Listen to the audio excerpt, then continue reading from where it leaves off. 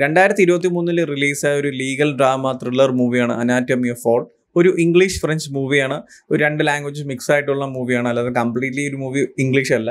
So ഈ ഒരു മൂവിയുടെ സ്റ്റോറി എന്ന് പറയുന്നത് ഒരു ചെറിയൊരു ഫാമിലി ഒരു അച്ഛൻ അമ്മ ഒരു കുഞ്ഞ് ആ ഒരു കുഞ്ഞാണെങ്കിൽ ബ്ലൈൻഡ് ആണ്. സോ ഒരു സിറ്റുവേഷനിൽ ആ ഒരു ഫാദർ മരണപ്പെടും. സോ ഈ മരണപ്പെടുന്ന സമയത്ത് ആ ഒരു കേസിന്റെ വിറ്റ്നസ് ആയിട്ട് വരുന്നത് ഈ ഒരു കുട്ടിയാണ്. അതായത് ഈ കണ്ണ് കാണാത്ത ഒരു കുട്ടി. ആൻഡ് ആ ഒരു കേസിന്റെ സസ്പെക്റ്റ് ആയിട്ട് വരുന്നത് ആ ഒരു അമ്മയും കൂടിയാണ്. സോ അതിനുശേഷം നടക്കുന്ന ലീഗൽ ഫൈറ്റും അല്ലെങ്കിൽ അതിന്റെ പ്രൊസീജിയേഴ്സും അല്ലെങ്കിൽ ഈ ഒരു അമ്മ എങ്ങനെയാണ് അതിൽ നിന്ന് പുറത്തു വരുന്നൊക്കെയാണ് ആ ഒരു സിനിമ സംസാരിക്കുന്നത്. അതായത് ആ ഒരു സിറ്റുവേഷൻ എന്ന് പറയുന്നത് വേറെ ആരും തന്നെ അവിടെ ഇല്ലായിരുന്നു. ആകെ വിറ്റ്നസ് ആയിട്ടുള്ള സ്വന്തം മകനാണ്. അതും കണ്ണ് കാണാത്ത ഒരു കുട്ടിയാണ്. സോ ഇങ്ങനത്തെ സിറ്റുവേഷൻ എങ്ങനെ പുറത്തു വരാം. അല്ലെങ്കിൽ കേസും കാര്യങ്ങളൊക്കെ എങ്ങനെയാണ് ഹാൻഡിൽ ചെയ്യുന്നതൊക്കെയാണ് സിനിമ സംസാരിക്കുന്നത്. സോ ഇങ്ങനത്തെ ഒരു സ്റ്റൈൽ ആയതുകൊണ്ട് തന്നെ ഒരു കംപ്ലീറ്റ്ലി ഒരു റൂം ത്രില്ലർ മൂഡിലല്ല ഈ ഒരു മൂവി സംസാരിക്കുന്നത്. അപ്പോൾ അനാട്ടമി ഫോൾ എന്ന് പറയുമ്പോൾ തന്നെ നിങ്ങൾക്ക് മനസ്സിലായി കാണും. ഈ ഒരു മൂവിയുടെ പർട്ടിക്കുലർ കേസിനെ ഭയങ്കര ഡീറ്റെയിൽ ആയിട്ട് സ്റ്റഡി ചെയ്യുന്ന രീതിയിലാണ് ഈ മൂവി മേക്ക് ചെയ്യുന്നത് അല്ലെങ്കിൽ ആ മൂവി മുന്നോട്ട് പോകുന്നത്.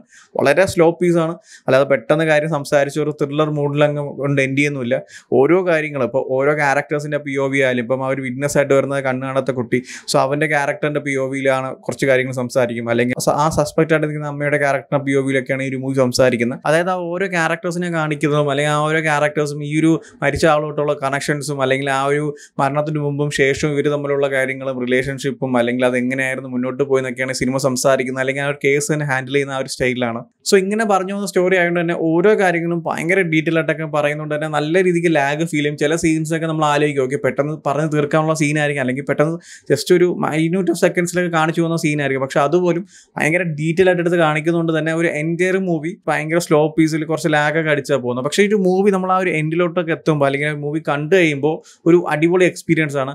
എന്റെ ഒരു പേഴ്സണൽ ഒപ്പീനിയൻ പറയാം ഈ ലാഗും കാര്യങ്ങളൊക്കെ എനിക്ക് ഫീൽ ചെയ്തു. ഓക്കെ പെട്ടെന്ന് തീർന്നാൽ കൊള്ളാം എന്നൊക്കെ ഒരു ഫീൽ വന്നെങ്കിലും ആ ഒരു മൂവിയുടെ ടുവേർഡ്സ് എന്റെ ഒക്കെ ആയപ്പോൾ നല്ലൊരു കിടിലും എക്സ്പീരിയൻസ് തന്നെ ആയിരുന്നു. കാരണം അതായത് ഇങ്ങനത്തെ ഒരു സ്റ്റോറി ടെല്ലിംഗ് എല്ലാ കാര്യങ്ങളും ഡീറ്റെയിൽ ആയിട്ട് പറഞ്ഞ് ആ ഒരു ഇൻസിഡന്റ് ഉണ്ടായിരുന്ന ക്യാരക്ടേഴ്സും അവർ തമ്മിലുള്ള റിലേഷൻസും അല്ലെങ്കിൽ അവരുടെ പി ഒ വിയും അവരുടെ അപ്പോഴത്തെ സിറ്റുവേഷൻസും അതിന് എന്താ പറയുക ആ ഒരു ഇൻസിഡന്റ് നടക്കുന്ന തൊട്ട് മുമ്പും അതിന് ശേഷം അങ്ങനെ എല്ലാ കാര്യങ്ങളും ഇങ്ങനെ കണക്ട് ചെയ്ത് കണക്ട് ചെയ്ത് നല്ല അടിപൊളിയായിട്ട് തന്നെ മൂവി സംസാരിക്കുന്നുണ്ട്. പിന്നീട് ഒരുപാട് കാര്യങ്ങൾ എനിക്ക് എടുത്തു പറയണമെന്നുണ്ട് അതായത് ഒരു പർട്ടിക്കുലർ പാർട്ട് കഴിഞ്ഞ് പിന്നീട് അങ്ങോട്ട് പോകുമ്പോൾ കുറേ നൈസായിട്ട് തന്നെ മൂവി പ്രസന്റ് ചെയ്യുന്നുണ്ട്.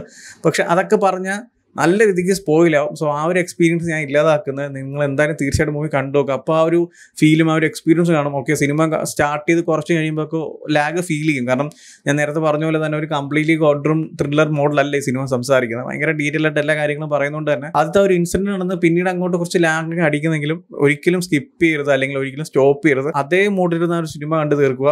ഒരു അടിപൊളി എക്സ്പീരിയൻസ് ആയിരിക്കും നിങ്ങൾക്ക് കിട്ടുന്നത്. ഡീറ്റെയിൽ ആയിട്ട് ഞാൻ ഒന്നും പറയുന്നില്ല. ക്യാരക്ടേഴ്സിന്റെ പെർഫോമൻസും അല്ലെങ്കിൽ ആ സിറ്റുവേഷൻ ഹാൻഡിൽ ചെയ്തിരിക്കുന്നതും ആ ഒരു മൂവിയുടെ മേക്കിങ്ങും മറ്റുള്ള എല്ലാ കാര്യങ്ങളും അടിപൊളിയായിട്ടാണ് മൂവി എക്സിക്യൂട്ട് ചെയ്തിട്ടുണ്ട്. ആ ഒരു മെയിൻ പാർട്ട് ഞാൻ ഡീറ്റെയിൽ ആയിട്ടൊന്നും പറയുന്നില്ല. സോ നിങ്ങൾ എന്തായാലും കണ്ട് എക്സ്പീരിയൻസ് ചെയ്യുക.